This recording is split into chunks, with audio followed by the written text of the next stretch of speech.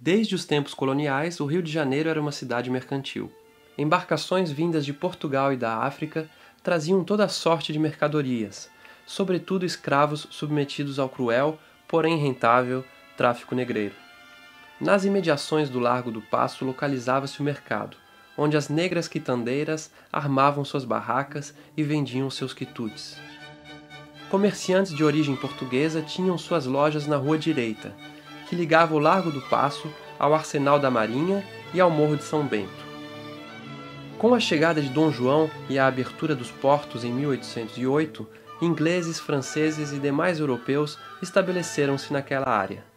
Ali também, em 1820, seria inaugurada a primeira Praça do Comércio, espécie de bolsa de valores com projeto do arquiteto francês Grandjean de Montigny e financiamento do Banco do Brasil.